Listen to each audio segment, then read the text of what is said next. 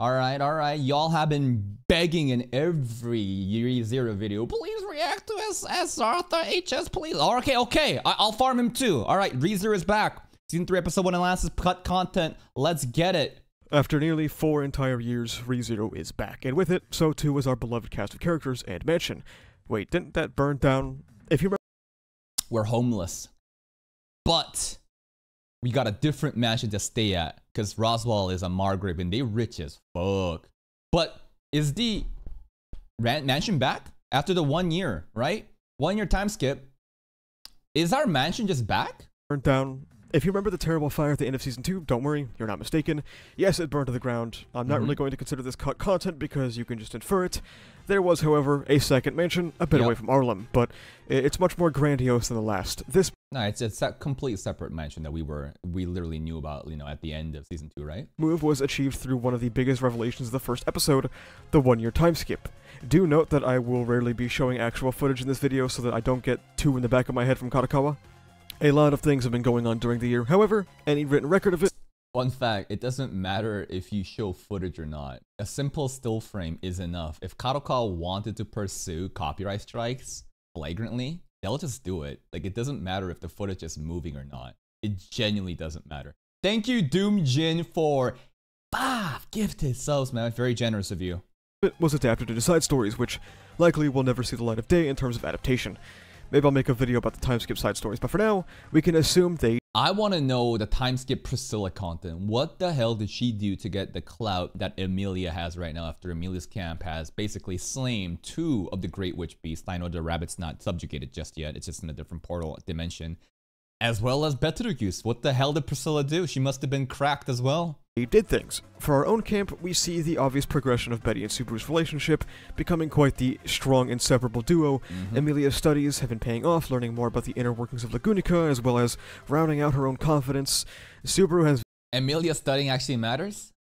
Like is, is she just getting educated basically about Lugunica? Very clearly got better at keeping up appearances, being praised for showing restraint in this episode, and not immediately blowing a fuse when Julius might have been at the mansion, and Garfield has found his own place in the camp as Emilia's shield. Some people were wondering what happened to the Royal Selection in Season 2. Well, Season 3 wastes no time at all giving us our first update. Mm-hmm. At the start, it was Crusch, Anastasia, and a bunch of nobodies. However, Crusch... That's right, bunch of nobodies were literally like Emilia, was the fifth member to join the queue so the game can get started. The lobby needed a fifth member. Roswaal literally was like, well, Emilia, uh, hey, just treat her like a random to just, you know, fill the fucking party so we can start the game, right? These two definitely were in the lead, but it's crazy how Crusch has such an early lead, but due to the events with Gluttony, Live Bike and Toast, now it's looking like probably the worst. And Emilia and Priscilla now are kind of high up. Anastasia is doing really well too and felt to showing promise. Has notably fallen off after being gluttonied, with Anastasia maintaining a firm lead. This does not mean that the other candidates are irrelevant, however. Emilia gained clout from killing Betelgeuse and the White Whale, Priscilla gained clout for ruling over her dead husband. How the fuck does she only gain this much clout if the amount, if the clout is scaling proportionate to the amount these characters are being raised? Are you kidding me? White Whale, Great Rabbit, Betelgeuse Romanée-Conti, this fucking kingdom couldn't do shit. This previous sword saint fucking failed and died, quote unquote. Like, like, hello? And then you tell me Priscilla just being a, you, you tell me Priscilla just getting into a marriage and probably assassinating her husband to take his assets is better than Emilia? land and moving the people there, which you could read about a side story.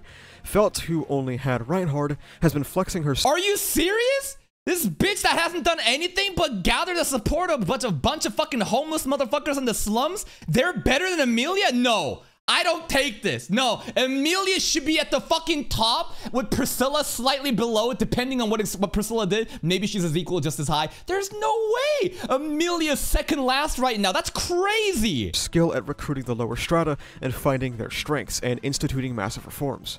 We immediately open. That's that. That's fucking crazy. This is absolutely insane to me.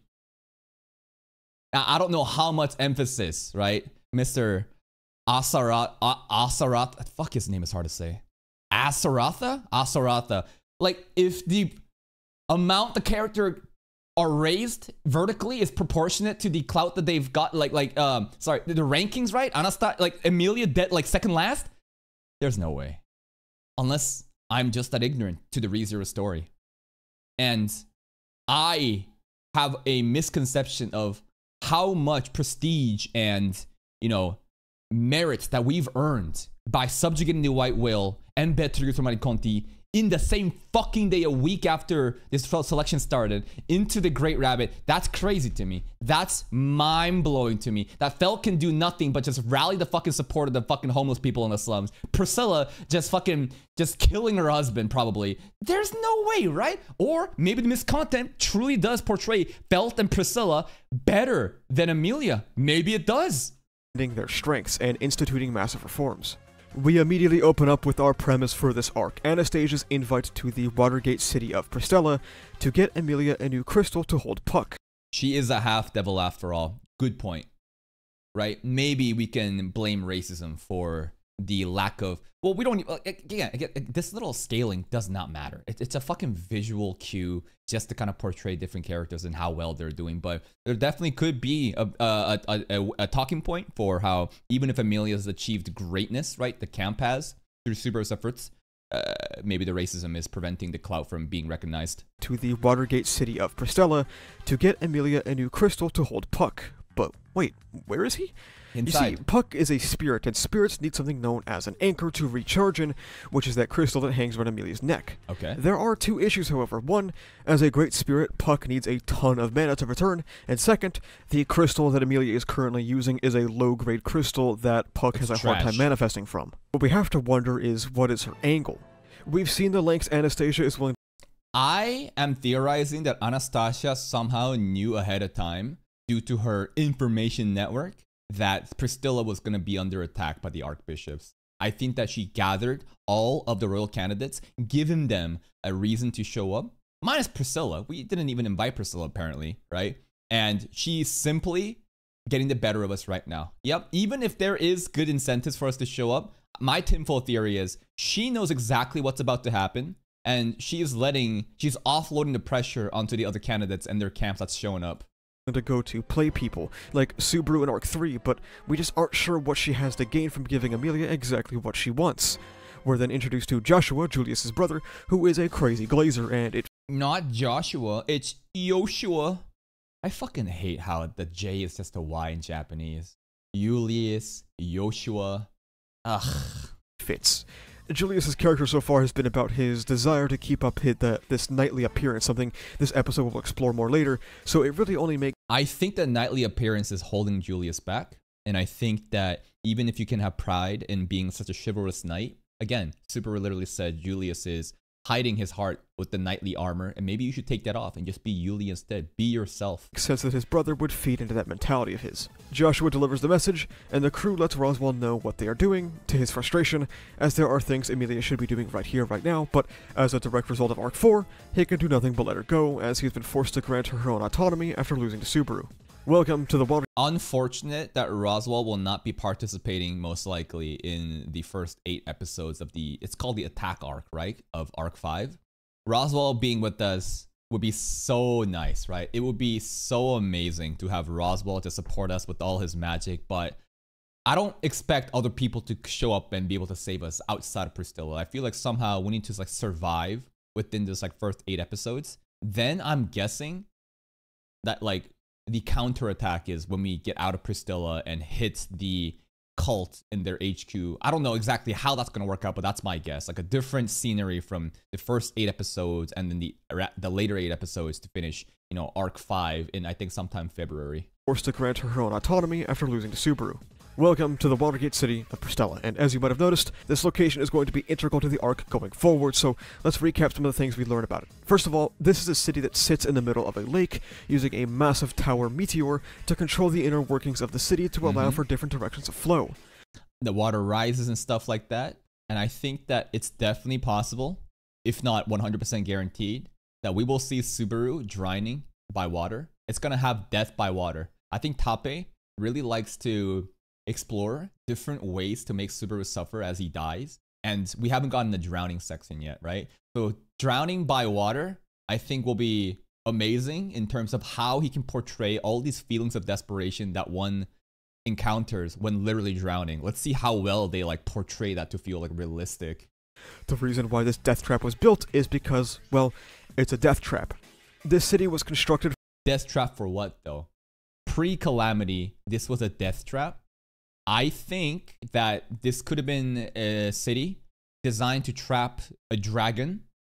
Maybe the Witch of Envy. I'm not sure if the, how the timeline really wakes, uh, matches up because this is past 400 years ago. But are we going prior 400 or are we going a little bit within those 400? Right? It, it could be dragon, could be witch, could be a great witch beast. Maybe. Uh, maybe. I'm, I'm not sure. If if Daphne at that time timeline wise, if it makes sense that Daphne has already created them, maybe. But something about me feels like I want it to be like a dragon because we haven't gotten anything about the dragon just yet. for the sole purpose of trapping something. However, the records on what that might have been have been lost. Why would a trap become such a giant city for people to live in? There's also kind of a bombshell in this episode that gets treated as something sort of not that big of a deal. This city is inspired from Kararagi style Mhm. construction, which is in turn inspired by Japanese style construction, Mhm. which in turn means that there was someone out there 400 years ago Yes, Hoshin of the Wilderness, right? This is a being that existed pre-calamity times. He is dead now. He has influenced Japan. Sorry, he's influenced, you know, this world with Japanese culture, Kansai dialect, right? Kararagi style. There's even like an idiom that Garfield uses in season two about how Hoshin of the Wilderness and something about the city of Banan, right? About how he just like grazed the entire city because they didn't listen to him. who was isekai and led to the founding of the Kararagi city-states. This is a consequence of an earlier cut that we will touch on in the cut content section at the end of the video, but with the lore of it being a trap being inspired by Japanese architecture and its unique construction, leads us to a very interesting setting for Arc 5. Mm-hmm. This first episode is wonderful for a lot of reasons, but one of my favorites is how it spends a vast majority of its time just relaxing. There has been so little time to chill out since Arc 2, and we get just a really good episode of character dynamics and interaction.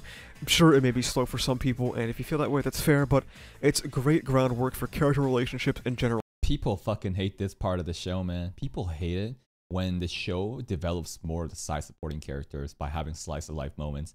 I can't understand that. Stuff like this only makes the pop off even better as you're more immersed to the story. You care more about the different characters. You understand what the fuck the story is telling you about. But the average retard watching this has no patience for such things. They just want to see fights happen. They want to see an archbishop. They want to see something pop off, right? characterization, whether it be Amelia's growing confidence, or Subaru's reigning in his own toxic behavior, or the growth of Subaru and Julius's friendship, watching is there any growth in their friendship? If Subaru actually acknowledged Julius as a friend, I would maybe say so. Subaru really hates him. And Tappei is making it very clear that like this is not gonna be a friendship like Otto and Subaru. No, Subaru refuses to yield to Julius. I'm not sure if this is a rivalry. I don't know, but they're really making it clear that they do get along, but they don't get along. They can have heartfelt dialogues and talk, and talk about some very vulnerable moments about how Yuli's heart, right, is is, is armored by that knightly presence, and that he should, you know, get rid of that. And Yulius telling Subaru that like your righteous self indignation is something that everyone wanted to say, but thank you for saying that on behalf of everybody during the Von Austria family drama, right? But it's just like they don't get along, and Tappei is like, yup, they beefing. Garfield LARP outside the carriage, and a personal favorite of mine, Subaru going to Rem's bedside to tell her about his day. Presumably every night, or getting to see sides of characters we haven't seen before. Make sure to leave a comment Priscilla. on your favorite scene of this episode down below. Priscilla showing up way more is so fucking nice to me. Now, before I continue, is there any actual spoilers in this video? Right? We're talking about potential spoilers from the trailer because this dude is using trailer footage and we're even actively trying to prevent trailer footage, right? Has anyone actually seen this video and no of spoilers? I will literally not continue until one monkey says so in chat. You motherfuckers wanted me to watch this, so I'm watching it. Surely someone knows. Surely someone knows. Nobody has done their due diligence. You just link this shit and you just say watch it. Nobody knows, huh? Just trailer footage is bad because the trailer footage fucking spoils. That's why we only checked out the preview.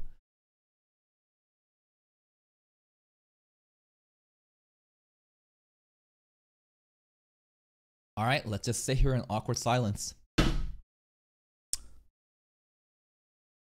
Spoilers? Where? Where is the spoilers? Don't fucking just say spoilers. Timestamp it. Timestamp it.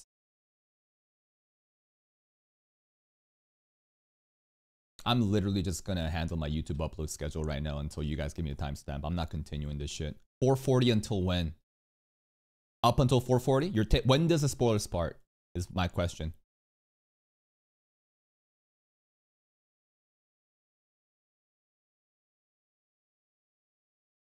You can't just fucking type 440 then nothing after that. Why are you so slow?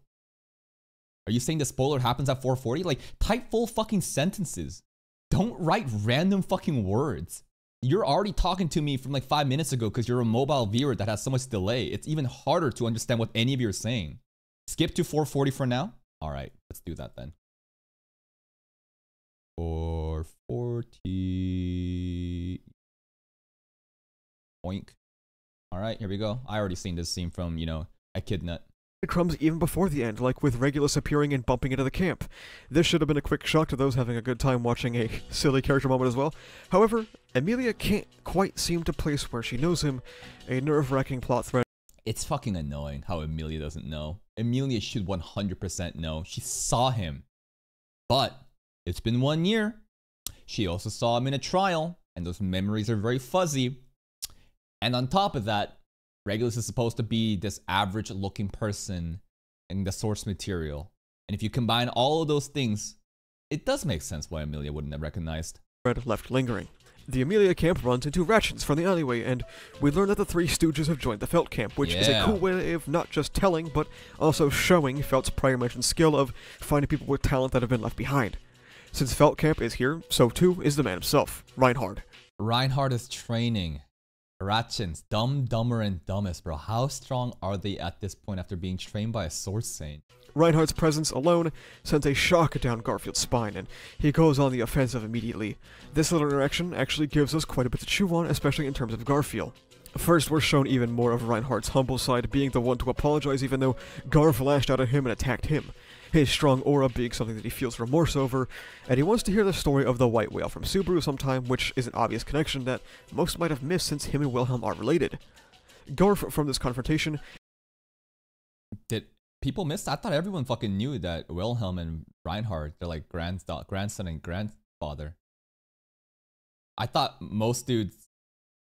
Well, I guess it was never confirmed, right? No no one really like it, it wasn't specifically said in the anime but I, I just made that assumption. That most might have missed since him and wilhelm are related. Garf from this confrontation is also humbled.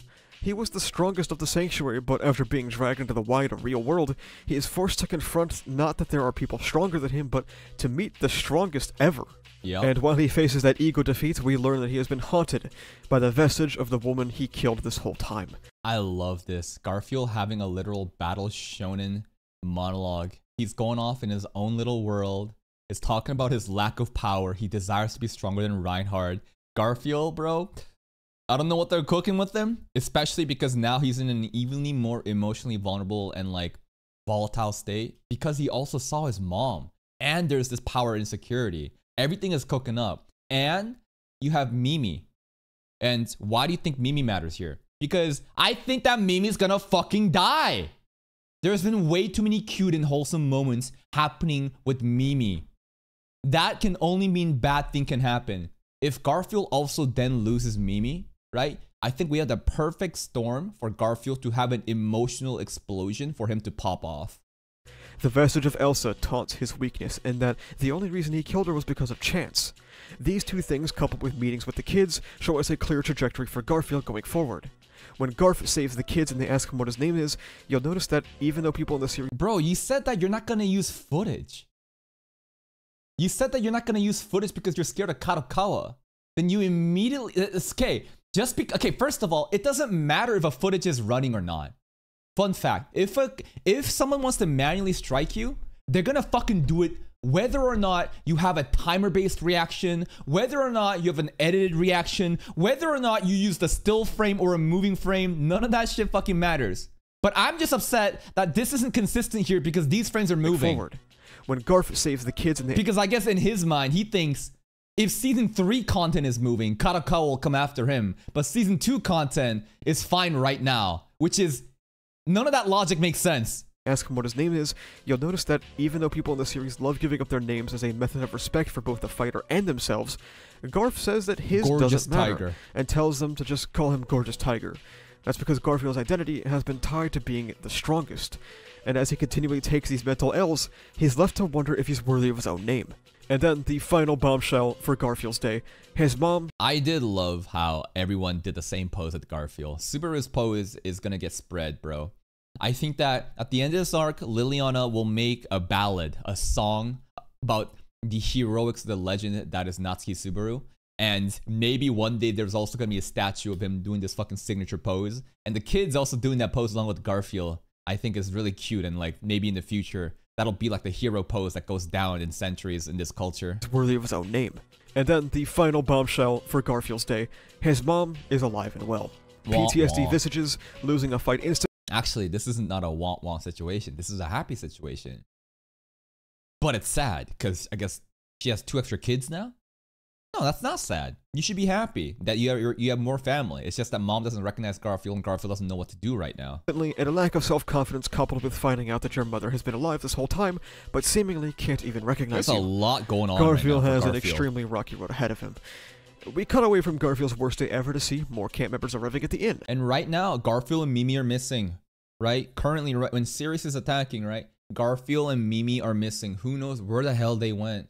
Ricardo apparently has not come back. I have no clue what he was sent out for, but there's a lot of moving pieces in the puzzle right now.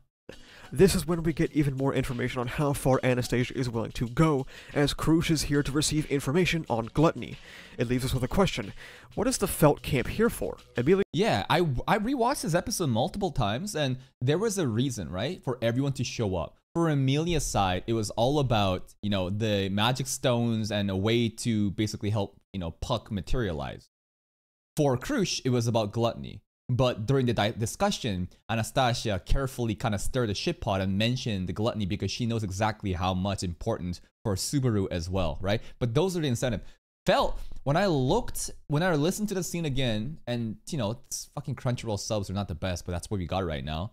It seemed like Felt was talking about how she loved things that was exciting and different changes. Like her entire thing is about toppling the existing structure that exists in Lunica, which is very ironic because Fang, red eye, blonde hair, these are the core qualities of a Lunican royal family, and she is indeed the lost princess that got kidnapped 15 years ago, which happened when Heinkel, you know, was there when Wilhelm had to be separated due to the kidnapping situation and Teresia quote unquote died. But Felt's entire thing is about overthrowing the status quo, topple, you know, she's basically an anarchist. And she likes the theme of anarchy is change, right? And she talked about how she enjoyed how everything was so different and there was change here to Anastasia. And to that, I thought, huh, I guess Felt didn't really need a gift. She did not need like a specific like reward for showing up. She, the basically the gift or the reward, the incentive is literally just to visit a different scenery.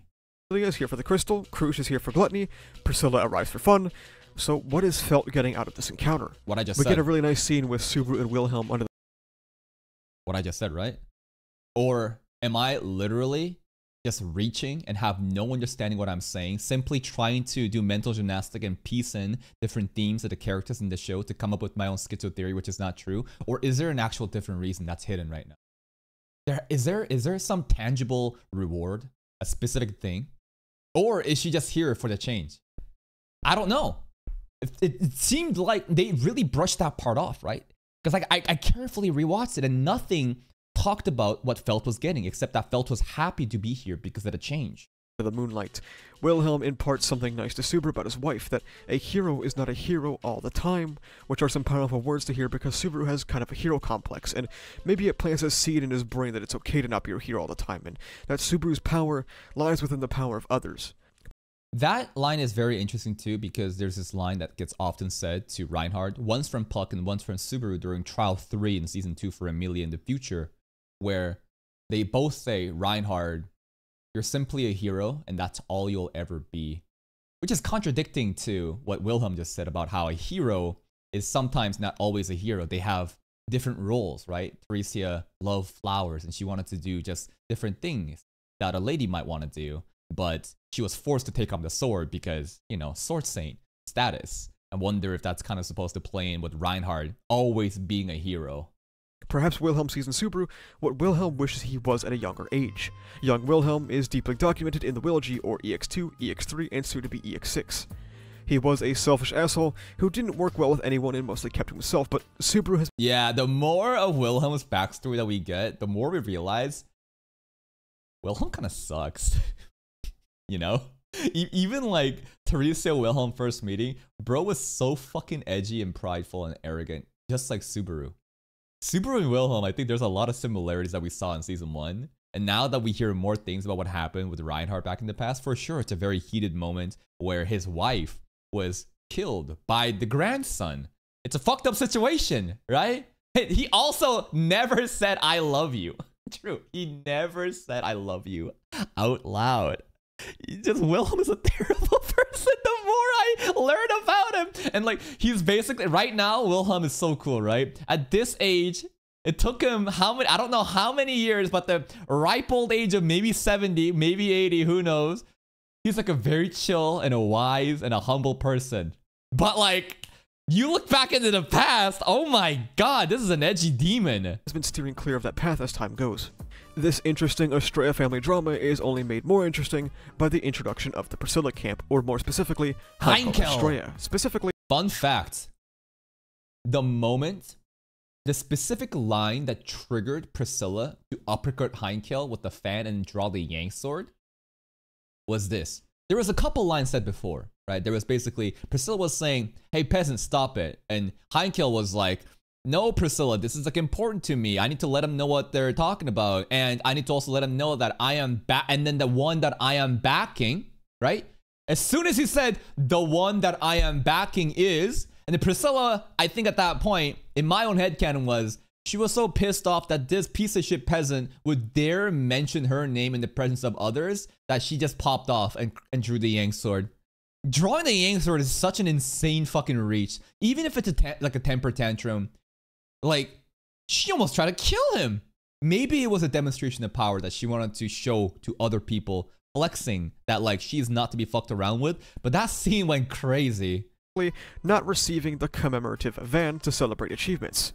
He is the vice captain of the Royal Guard of Laguna. By title. a belligerent drunk who doesn't care about making a fool of himself at this meeting, and he definitely And he's not Van Austria. He's Heinkel Austria. Van seems to be associated with people who are sword saint status or is a great swordsman. Heinkel is a vice captain by prestige, by perhaps bureaucracy and nepotism, because he is the Austria family, right? He is a son of Teresia and Wilhelm. I'm sure he has a high ranking and like political political clout. He also has the Austria assets, and that's why Felt says this fucking old man, our fate lies within his, you know, palms. I think that he has a terrible first impressions to most people, and we're gonna think the worst of him. But apparently, Tappei said that if Subaru wasn't in ReZero, Heinkel would be the main character. Isn't that crazy to you? It shows you that this drunk, belligerent fool is so deep and complex, and there's so much room to cook, right? And I'm sure there's a reason why he's drunk.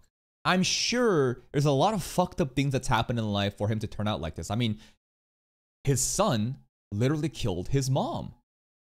Now, we were theorizing in the video that maybe Heinkel was the one that ordered the kidnapping of Felt 15 years ago in order to create an excuse to basically remove Wilhelm from the picture in order to get Teresia assassinated during the White Whale subjugation so that Heinkel himself would then become the sole owner, inheritor of the Austria assets. One could reason that, but the more I think about it, I think that this is a tragic character, a tragic person that needs some time to cook, and people will realize the greatness in the story writing. add some juicy layers to the drama. He accuses Reinhardt of killing Teresia, the sole cause of the Astraea rift, and reveals that he has refused to give Reinhardt the Astraea estate, showing a strong disdain for even his own son. If Felt wins, she can just topple the entire existing system, and the inheritance shit probably won't matter.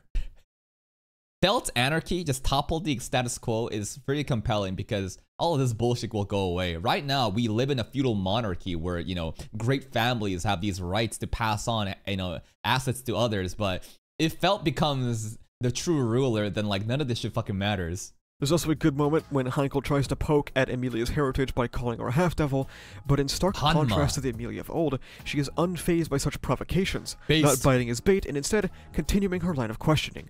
Raw points for that alone, and Yeah, it was great. Amelia stood up. And the fucked up part is when Reinhard and Wilhelm were getting tortured by Heinkel, no one said anything in the room. But the moment that Amelia clapped back, every other girl also was like, yeah, slay. Who is this loser? Get out of here. It's like, goddamn, ladies, you could have fucking held Reinhard and Wilhelm too. You, you just sat in silence until Emilia said something. it's good payoff for Arc 4. Priscilla reveals that she brought Heinkel here for fun, saying she rewrote the script of the Astrea reunion. Al tries to mediate, but you can only do so much with Priscilla, and in the immediate aftermath, And I think that scene where Priscilla literally just tapped Al's abs and this did that much damage, the fact that she was holding the Yankster with one hand and the fan uppercut, Priscilla has superhuman strength like Emilia, I think. and in the immediate aftermath, for the first time, some cut content is re-added, but it's not the whole picture.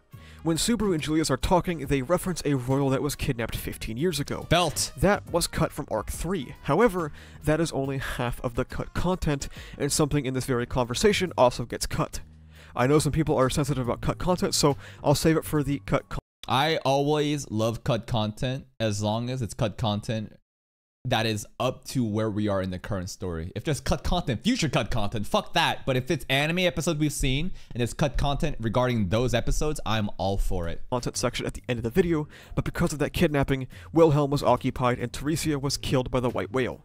This conversation offers more cool Julius characterization, showing us further how he will stick to tradition and knightly values, thanking Subaru for doing what he wishes he could, and smiling as he thinks of the world Julie was able to see. Yes. The second to last scene is Maybe this arc will make Julius throw away his knightly chivalry and become more raw and become the inner mercenary that is Yuli that we saw in season one. Priscilla dancing with Liliana, and it's one of the only times in the story we see Priscilla break away from the character we would expect of her. Yes, this is the one time where Priscilla is also dancing, right? We would never expect Priscilla to dance, but not just a dancing. It's her entire attitude towards Liliana when Liliana denied Priscilla's invitation to join her camp. Priscilla said, My bad. My fault. That never fucking happens. Priscilla's always so arrogant and prideful and just admonishes everyone else and thinks them as peasants beneath them. But to Liliana, it's because Liliana showed the bard's pride, I think. Also, she's an exceptional songstress. Maybe something about the song manipulated Priscilla's brain. Maybe that's. Maybe we're fixated too much on too much on how Liliana portrayed herself and her pride as a bard, and that resonated deeply with Priscilla's personality. That's why she, you know, said my bad and everything is fine because at the end of the day, my entire world is my possession, and I do not need pieces in my garden so close to me for them to enjoy. Maybe there's something about the song, man. And I want to believe that the song will also be able to break people out of Sirius's authority. I think that there is potential for Liliana's songs to counter Sirius's authority in terms of the trance-like hypnotism that was going on. But beyond that, did the song affect Priscilla? Did the song affect Subaru when he started rapping and understood the lyrics did everything? I don't know. Her mentioning of scripts, stages, and now dancing to the music, Priscilla clearly has some respect for the likes of artistic endeavors and performances, and we see another side of her along with Subaru and Emilia when Priscilla doesn't just cut Liliana in two, respecting her wishes when she refuses her request.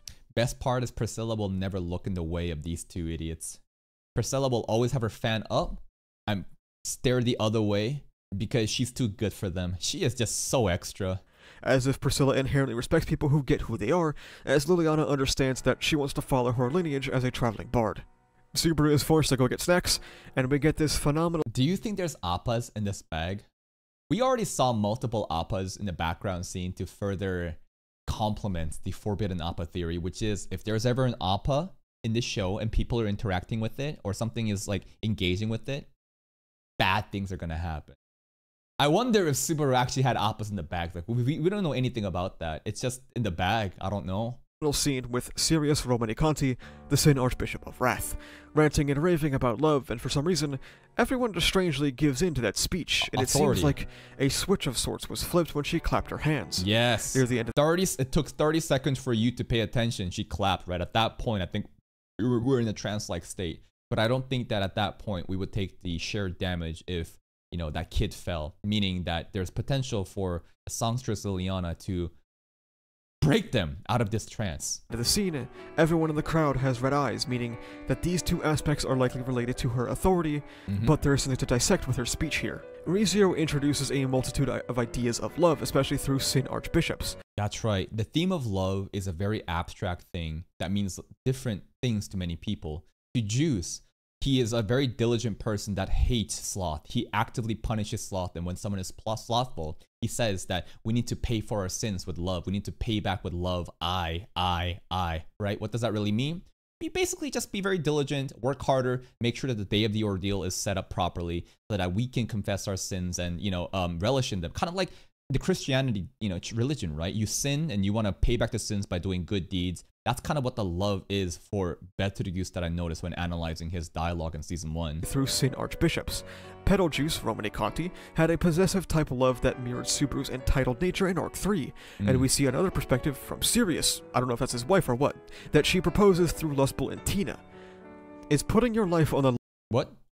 Sirius, I don't know if that's his wife or what, that she proposes through Lustful and Tina. What? She proposes through lustful and Tina? For what? That she proposes through Lustful and Tina. I have no clue what that means. She proposes through Luzbel and Tina. My bad. It's the name of the kids. True. My bad. Is putting your life on the line like Luzbel is doing. Love is sacrifice love. It is love when your heart is one.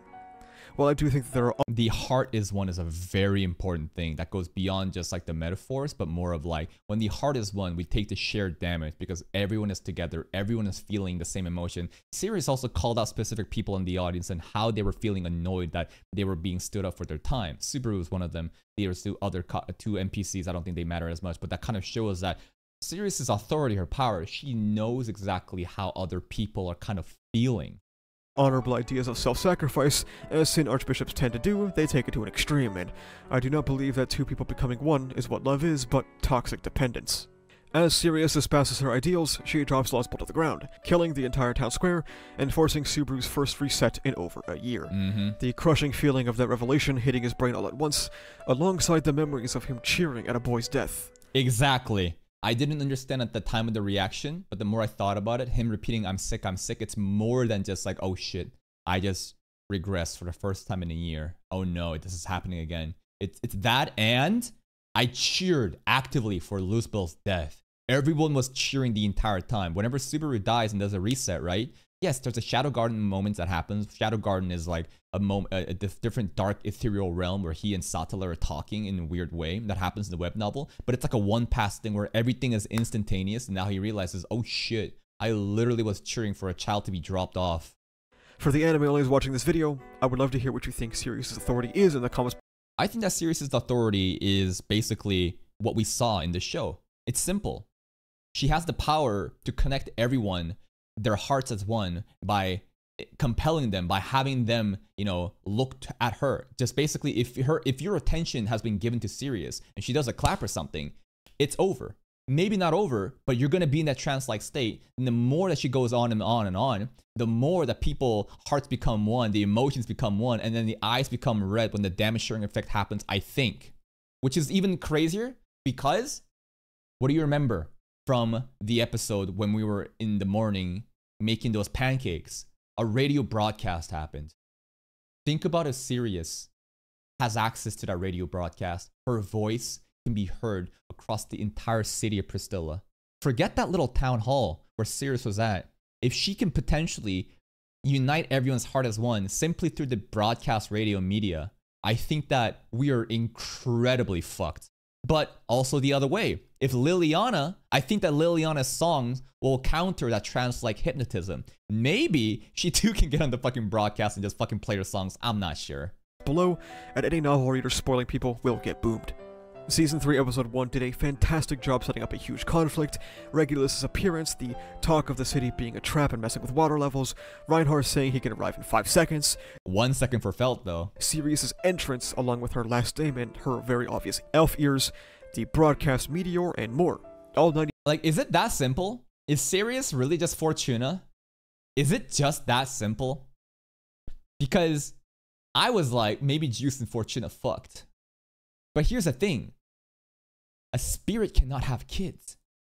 A spirit cannot have kids nor a parent. It just exists. This cannot be the love child of Fortuna and Juice. Now, could it be Fortuna? Definitely could be. 100% could be. It doesn't matter if the voice actor is different. That is not enough to disprove this notion, right? If the voice actor is the same, then that's 100% evidence. But just because the voice actors are different, it does not mean that this is not Fortuna. Fortuna's body magically disappeared.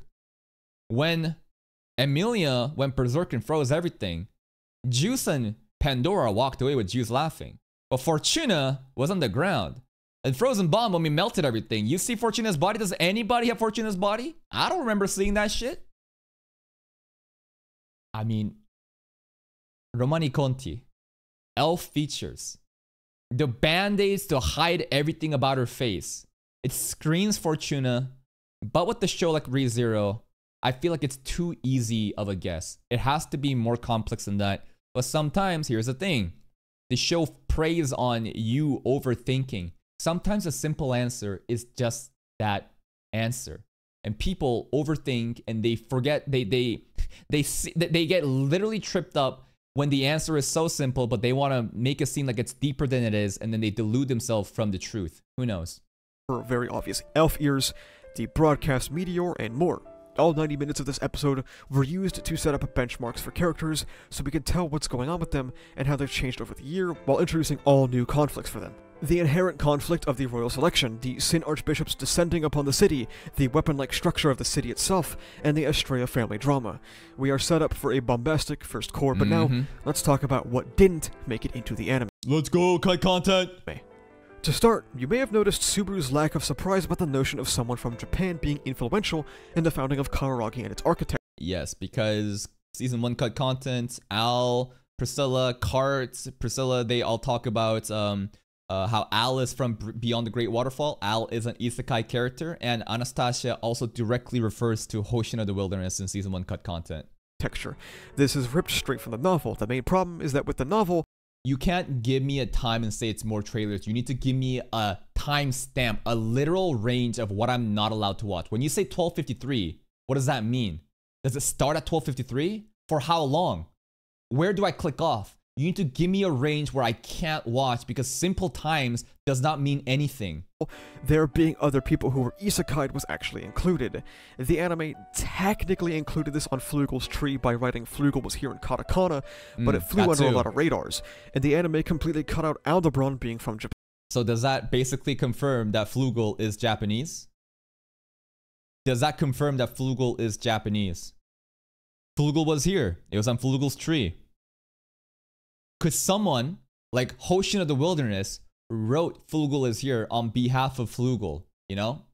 So basically, when we get to 1253, I will just do this. And I'm not gonna, I'm only gonna play the video. I'm not gonna look at the visuals. Japan.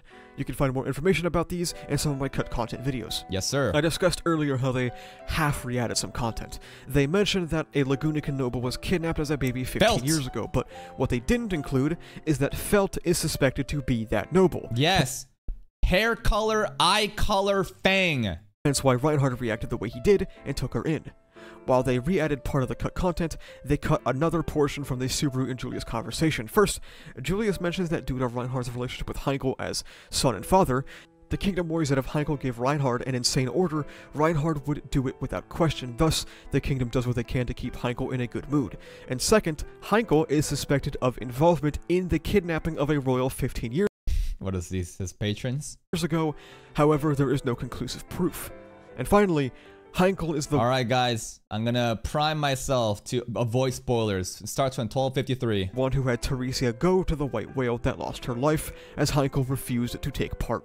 So, Heinkel, you fucking pussy. But again, do I expect Heinkel to substitute Teresia? Hell no. If like there's there's there's it doesn't matter if Heinkel went or not. He wouldn't have been fucking helpful in my opinion. Well, there are the bits and pieces that do not make it in about Heinkel. It's possible they are added later, but just in case they aren't, there you go. Okay. That will also wrap up our episode 1 video. I won't talk about what I think of it as an adaptation, as I already did that in a previous video, which you can watch here. So until next week, that'll be all. Thank you so much for watching. If you like this video, make sure you and then the rest is just ads. That's pretty much it. That was a pretty good video. That was a pretty good video. If there's any other, you know, channels that you want me to check out and check out their extra good content or reserve content, please let me know. Here's the link to Mr. Asarathas. Asaratha. Asaratha. Asaratha. Ratha. Asaratha. Please go give him a like on the video. Sub to his channel if you haven't, and I'll see you next time.